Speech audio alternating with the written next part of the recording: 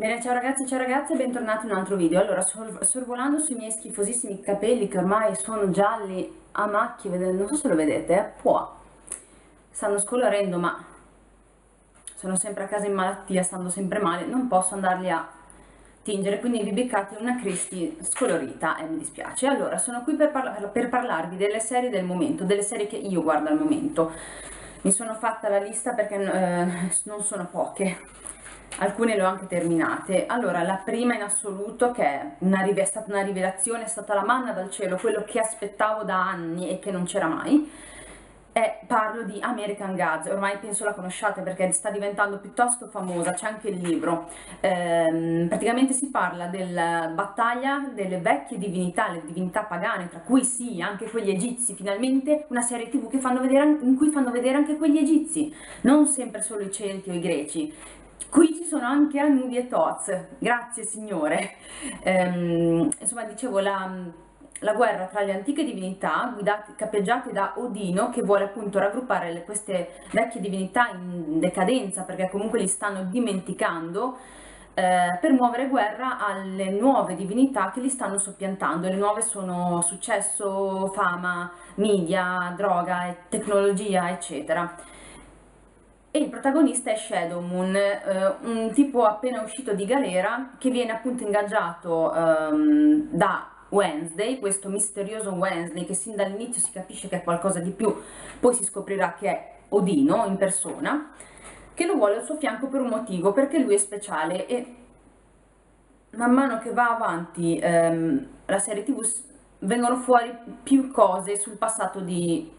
di Shadow Moon. E, e, ancora adesso io sono al settimo episodio non si capisce che cosa lui sia in realtà ma anche Shadow sembra qualcosa di diverso. Comunque non mi dilungo perché ho fatto un intero video recensione su questa, uh, su questa serie tv bellissima perché se, se, la meritava ve la lascio qui. Andate a vedere quel video perché è molto più dettagliato qui l'ho spiegato un po' così alla veloce però andate a vederlo perché e guardate questa serie tv perché è bella vi piacerà poi um, ho finito Once Upon a Time, tutto, ero rimasta che mi mancavano due episodi ma più di un anno fa della quarta stagione, poi mi era venuta noia perché dopo un po' fanno sempre la stessa cosa, non sanno più cosa inventarsi. L'ho finita, ho visto tutta la quinta e tutta la sesta, accorgendomi con mio grande stupore e anche un po' di, un po' di tristezza, devo ammetterlo,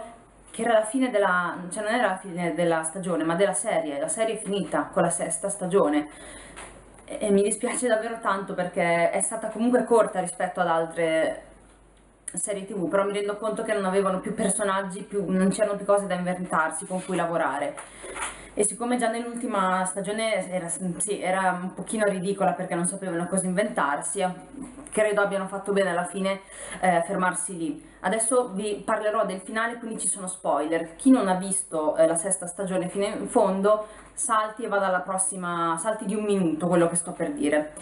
Allora, lieto fine per tutti, è vero, cioè Emma e Uncino che si sposano sono stati qualcosa, mi hanno fatto commuovere. Io, a me Uncino è piaciuto sin dall'inizio, sin da quando era cattivo, per il suo look eh, truccato, figo, pirata, era fichissimo. E non pensavo che un giorno sarebbero arrivati al matrimonio con Emma. In realtà sono stata felicissima perché come è diventato lui adesso mi piace molto e dopo aver perso Neil lei merita, meritava comunque lieto fine Insomma, il lieto fine c'è stato per tutti, anche per Tremotino che francamente l'avrei preso a schiaffi nella sesta stagione, cioè una volta è buono, una volta li tradisce, una volta ci si può fidare, una volta cambia e si allea con la fata nera. Hai rotto veramente le palle, Tremotino. Ogni, ogni, ogni puntata cambiava bandiera, cioè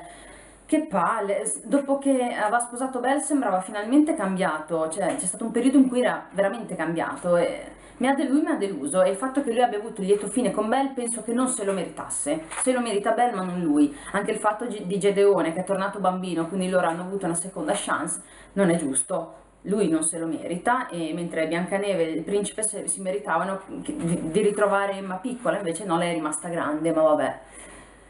ma quello che più mi ha fatto incazzare cioè hanno ucciso Robin Hood. Cioè di nuovo hanno tolto l'amore della vita, quello predestinato a Regina, una seconda volta, ma mi prendete per il culo, cioè già con Daniel quando quella bastarda di sua madre gli aveva strappato il cuore lei si era trasformata in regina cattiva. Ed era stato un dolore che ci ha messo 30 anni ad andare via. Finalmente guarisce, diventa buona infatti era un personaggio fantastico da buona trova l'amore della sua vita e cosa succede? Beh, glielo tolgono di nuovo, si sacrifica davanti a lei, cioè lo vede sparire, quella scena mi ha tipo spezzato il cuore, dove lei lo, lo vede mm, svanire e le scende una lacrima, ma tipo ucciso, non è giusto. E, è bello che ci passa sopra come se niente fosse, cioè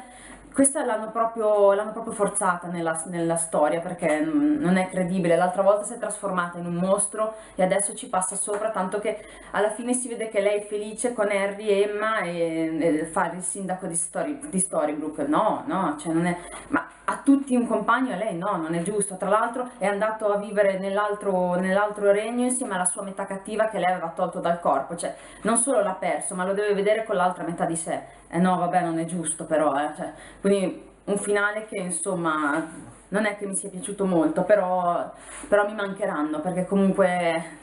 mi mancherà. Loro avevano rimodernizzato il mondo delle favole, quindi mi mancheranno. Poi... Um, è ricominciata finalmente Supernatural, grazie signore, dopo un anno che erano fermi e eravamo rimasti quasi tre stagioni indietro, era un anno che non doppiavano più, non si sapeva perché, avevamo paura noi fan che non, la, non, non, comprassero più i diritti e non doppiassero più, io ero già nel panico, io seguo i Winchester da, da 12 anni ormai, cioè andavo in prima o seconda superiore, seconda forse, per cui no, no, non è possibile. L'altro giorno finalmente trovato, sono arrivati i primi episodi doppiati, grazie signore, e questa eh, undicesima, perché sono, beh, siamo già a undici, un, questa undicesima stagione parla dell'oscurità, che come è partito il tutto mi piace già moltissimo io adoro Dean, inutile dirlo, adoro i Winchester, quindi niente, ve la consiglio, andate a vedere, per adesso ci sono solo 5 episodi, però viva i Winchesters. Poi ho guardato Teen Wolf, che hanno ripreso, siamo alla sesta stagione, io non, mi sa che ve ne avevo già parlato. Teen, Wolf lo seguo da, da, un bel po', da quando ancora lo davano su Rai 4, per cui da sempre, dall'inizio. Mi è sempre piaciuto, nonostante a me non piacciono i, i cantropi, anzi li odi, que- eh, Scott non può non piacermi e comunque il mio preferito è sempre stato Styles, cioè, che è strano, l'unico umano lì in mezzo, Styles, fa, fa morire dal ridere, lo, lo adoro, cioè, mi, mi, fa impazzire, ogni, ogni, cosa che dice, come recita anche quell'attore fa proprio, eh, ti, te la fa fare sotto dal ridere. Eh, quella, la serie precedente, la numero 5, del, quella sui mm, Dottori del Terrore, mi era andato un po' a noia, francamente mi faceva un po' schifo. Eh mi aveva già un po' rotto le balle. Qui invece dove è arrivata la caccia selvaggia, ecco, tutto molto diverso, eh, le persone che spariscono, Styles che sparisce, ero, ero disperata. Ehm, però ecco questa mi piace, questa non mi annoia, l'ultima mi ha un po' quella prima mi aveva un po' annoiato e poi qua si rafforza il loro legame di amicizia tra Scott e Styles, l'amore che è nato tra Lydia e Styles, dopo che noi, dopo che Styles eh, e noi la stavamo aspettando la prima serie perché lui è innamorato già dall'inizio. E, ehm, e, niente, anche il branco di Liam e, e Cory e tutti, insomma, che si riuniscono, è una bella cosa, sa di famiglia. È comunque molto interessante questa cosa della caccia selvaggia, eh, di, di, cui avevo solo letto nei libri. Poi, due, due serie nuove che ho iniziato, la più bella ve la lascio per ultima sono Salem e Stitcher. Stitcher l'ho dovuto lasciare perché mi sono concentrata su un'altra um, serie che mi piace di più, di cui vi parlo dopo. E Stitcher praticamente parla di questa ragazza um, molto strana eh, che ha una malattia che si chiama displasia temporale, praticamente non ha la cognizione del tempo e anche le, le emozioni, praticamente quasi è priva di emozioni però è un genio informatico e matematico. Eh, un giorno un'organizzazione la prende e, e, le chiede, visto che ha quel particolare problema, è adatta per questa cosa, le chiede se vuole far parte della, ehm, dell'organizzazione del progetto Stitchers, cioè collega, collegano loro attraverso dei, delle, delle macchine speciali ai cadaveri di modo da recuperare i ricordi del morto al quale si collega, così per risolvere eh, omicidi mai risolti, casi di omicidi mai risolti. Lei accetta perché tanto lei non ha paura di niente, ehm, con, il, con, il, con il pericolo però che a volte, cioè quella precedente ad esempio che si chiama Marta, che l'ha preceduta, è rimasta um, un vegetale in ospedale perché se non ti scolleghi a tempo prima che la memoria del defunto, prima che il cervello del, della persona morta si deteriori del tutto e tu sei collegata rischi di fare la stessa fine, ti si frigge il cervello. Oppure l'altro rischio è che non, quando ti svegli non riesci più a distinguere i tuoi sentimenti da quello che provava lui, cioè lei ad esempio comincia a provare amore, cosa che non ha mai provato, con, nei confronti di un uomo che non aveva mai visto prima, che era praticamente il ragazzo di quella con cui si era collegato. E nel mentre ehm, suo, uno dei suoi colleghi comincerà a provare un debole per lei. Non sono andata oltre il quinto episodio perché poi ho trovato questa, ehm, questa serie qui che è una bomba, è seconda solo ad American Gods, si chiama Orphan Black e credo che sia piuttosto famosa perché ormai è la quarta stagione, ho notato.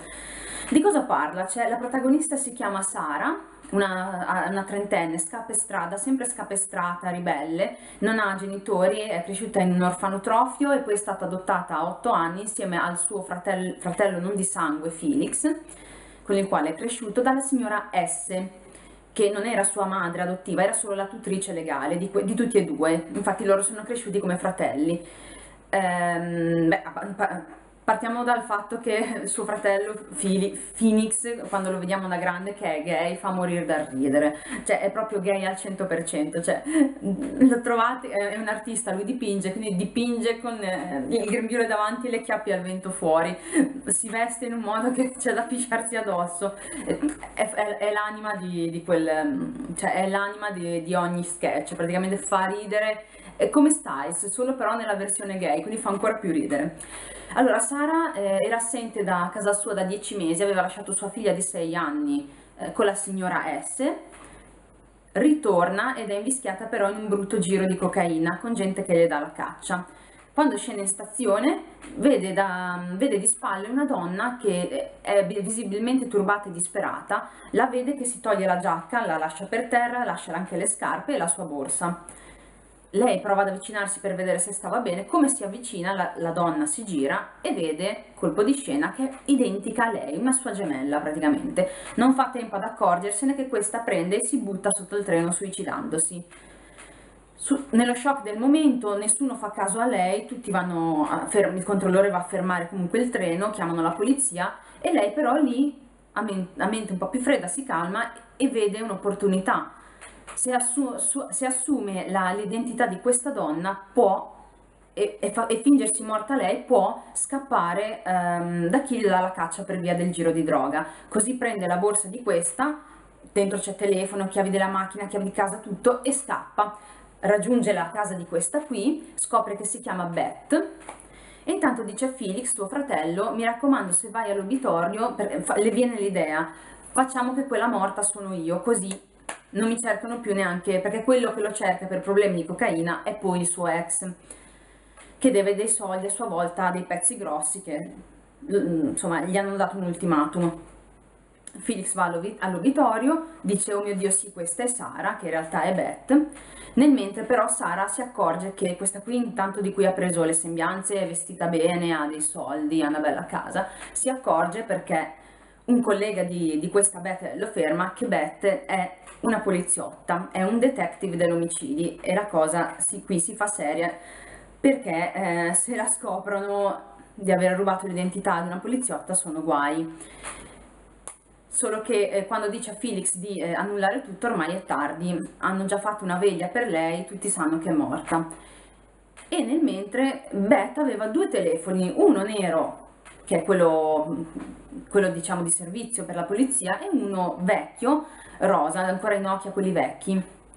dal quale riceve chiamate da anonimi o comunque numeri che hanno solo un nome, da diverse donne di diverse nazionalità che le chiedono sempre la stessa cosa, dove sei, hai dato i miei campioni all'altra, eccetera, eccetera.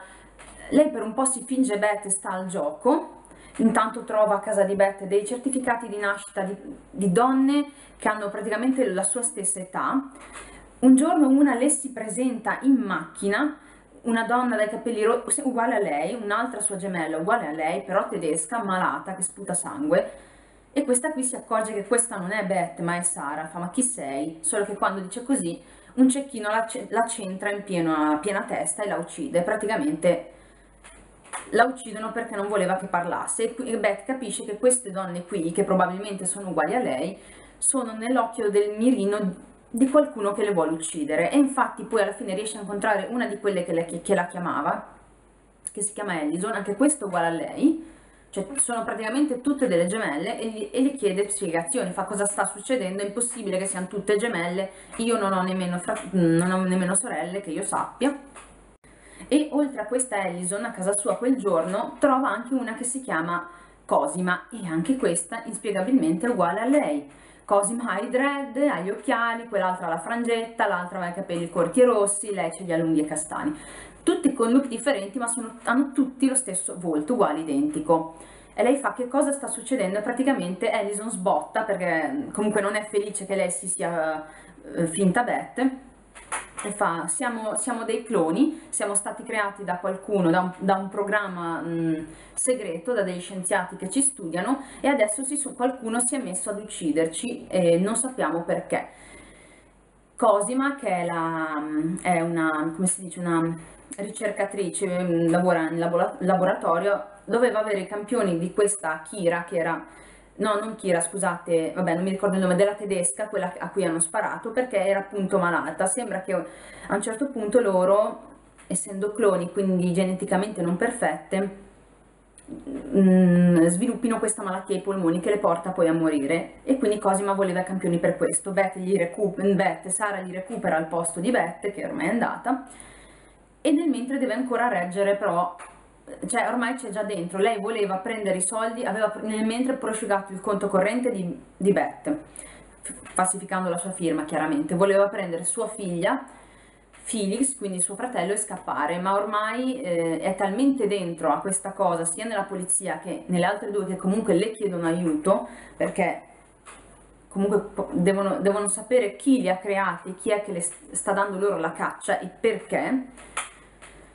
che non parte, alla fine c'è dentro eh, anche sentimentalmente perché comunque deve fingere anche con il ragazzo di, di Beth che si chiama Paul che poi si scopre essere l'osservatore. Ognuna di loro accanto qualcuno che le osserva e riferisce all'agenzia che le studia.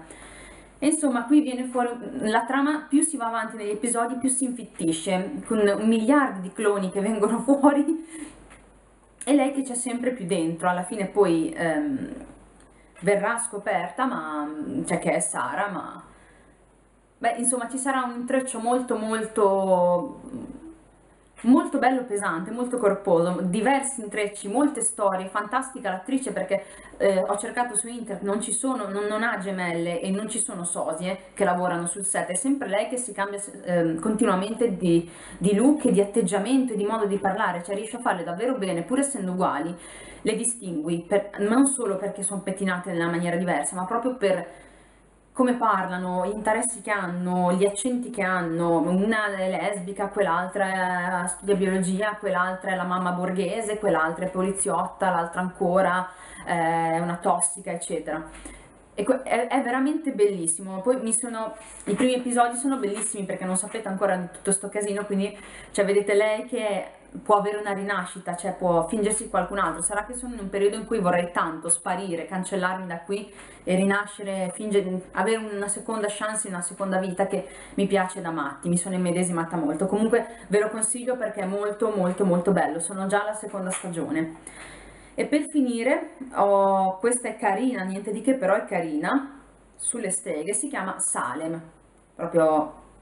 come, come dire nulla di mai sentito. Questo Salem praticamente è ambientata nel 1765 a Salem, appunto, sì, l'epoca mi sembra quella, dove c'è la famosa caccia alle streghe, vediamo la protagonista e il protagonista maschili, che sono lei e la signora Sibley, la, la, futura signora Sibley, non mi ricordo come si chiama, Mary, ecco, si chiama Mary quando è una ragazza. Questa Mary si innamora di John, che, con il quale ha una storia ovviamente fuori dal matrimonio, loro non sono sposati e lo fanno ehm, nascosti dai preti naturalmente nel, nel, momento, nel mentre dilaga la paura, streghe, bruciano qui, bruciano là, quasi sempre, praticamente sempre delle innocenti. Ma questa cosa è diversa perché praticamente qui a Salem si scopre che ci sono davvero delle streghe vere e proprie e fatte e caratterizzate proprio come, cioè molto stereotipate, cioè proprio come l'Inquisizione le credeva che non è assolutamente vero perché le streghe odierne sapete che non sono così, comunque vabbè.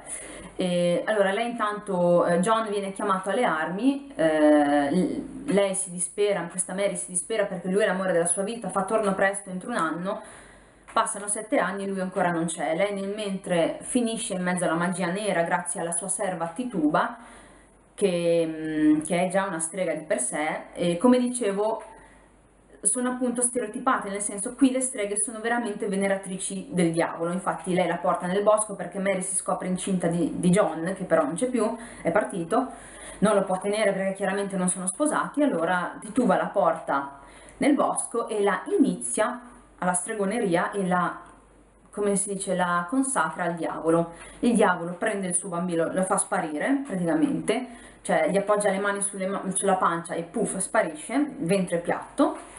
e da quel giorno la, lei praticamente ha offerto l'anima attraverso quella del bambino, ha,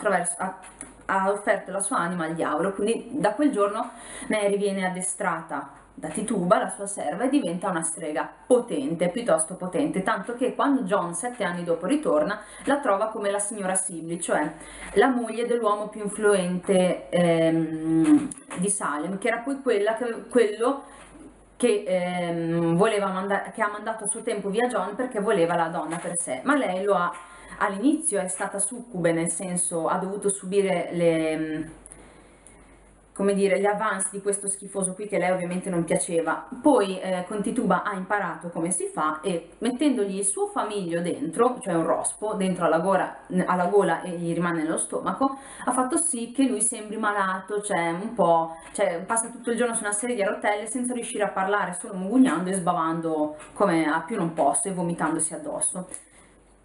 praticamente lei attraverso lui ha preso il controllo di Salem perché lui è, mm, è, come se fosse il sindaco di Salem, la persona più influente lì e adesso lei è la donna più potente e influente lì. Ed è in combutta con il consiglio. A loro volta streghe e stregoni, qui ci sono anche uomini per fortuna e si vedono le peggio cose, nel senso loro fanno veramente sabba con il diavolo che tra l'altro si vede e poi come dicevo è pieno di stereotipi falsi dell'epoca, tutte credenze dell'epoca, cioè eh, che, anche, mh, mm, come si dice, che le streghe abbiano un terzo capezzolo nascosto nel corpo dal quale allattano il famiglio, cose che fanno vedere, cioè Mary ne ha uno sulla coscia, da lì allatta il rospo, la tituba ne ha uno qua dietro dal quale allatta il ragno, una tarantola che è il suo famiglio.